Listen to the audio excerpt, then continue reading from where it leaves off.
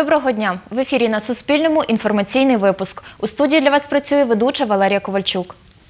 Станом на 10.30 в області 15 лабораторно підтверджених випадків на COVID-19. З них семеро мешканці міста, решта з області. Четверо хворих перебувають в інфекційній лікарні. Ще троє хмельничан лікуються амбулаторно. Про це розповіла начальниця обласного управління інформаційної діяльності, культури, національностей та релігій Інна Михайлова. З посиланням на інформацію обласного штабу з ліквідації надзвичайної ситуації. За інформацією прес-служби Хмельницької міської ради, на ранок 8 квітня в міській інфекційній лікарні перебуває 33 хворих, серед них одна дитина. За добу госпіталізовано 6 пацієнтів, з них троє з підозрою на COVID-19, двоє з ГРВІ і один з гепатитом. Хворих з пневмоніями у інфекційній лікарні 20, у міській 11, в дитячій лікарні 9. За даними Центру громадського здоров'я, станом на 9.30 8 квітня в Україні 1668 лабораторно підтверджених випадків COVID-19. З них 52 летальних, 35 пацієнтів одужало. За добу було зафіксовано 206 нових випадків. Дослідження проводилися вірусологічною референс-лабораторією Центру громадського здоров'я України, а також обласними лабораторіями. МОЗ закликає, при перших симптомах респіраторних захворювань обов'язково зателефонуйте своєму сімейному лікарю. Залишайтеся вдома. Самоізоляція найдієвіший спосіб забезпечити себе від інфікування.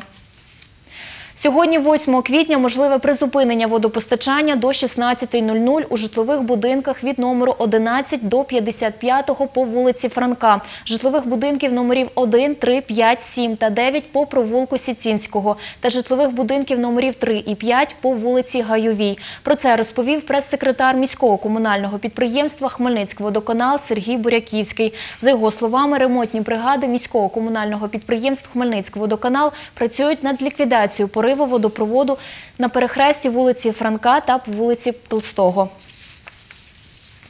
У селі Рожичанка Хмельницького району люди похилого віку та ті, хто не може пересуватися, сплачують комунальні послуги, отримують перекази та купують продукти харчування через листоношу. Як під час карантину у невеликому населеному пункті працюється поштаркам, бачила Тетяна Ворожцова.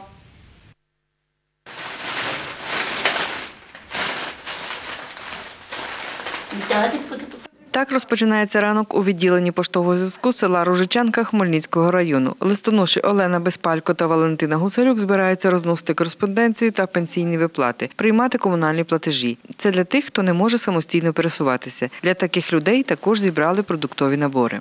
Супутні товари вза- обично замовляє категорія, яка не може ходити, ну не може пересуватися в даний момент, і яка не має, щоб йому діти звідки щось привезли, то вони замовляють нам товари такі необхідні товари для життя. Там макарони, крупи, олія. Ну, які в нас є на по- на почтовому відділенні товари, такі ми доставляємо. Приймає листоноша і комунальні платежі. дають мені рахунки.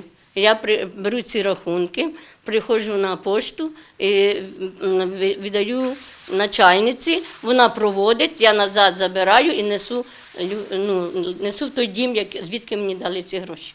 Начальник відділення Людмила Касір каже, до відділення поштового зв'язку належать три села. Відділення поштового зв'язку складається з трьох сіл. Е, Тобто, в нас є е, відділення поштового зв'язку Ружичанка, до нього входить село Карпівці ще і село Шумівці, де є свої листоноші. Люди, які приходять до нас сплачувати комунальні платежі, соответственно, ну, весь товар у нас виложений на вітрині. Якщо комусь щось потрібно, беруть самі. Далі з газетами, журналами та листами Олена Безпалько йде селом. Дорогою заносить пошту до сільської ради у місцевий магазин газети. Жителька села Ружичанка Антоніна Травка каже, постійно замовляє листоноші товари.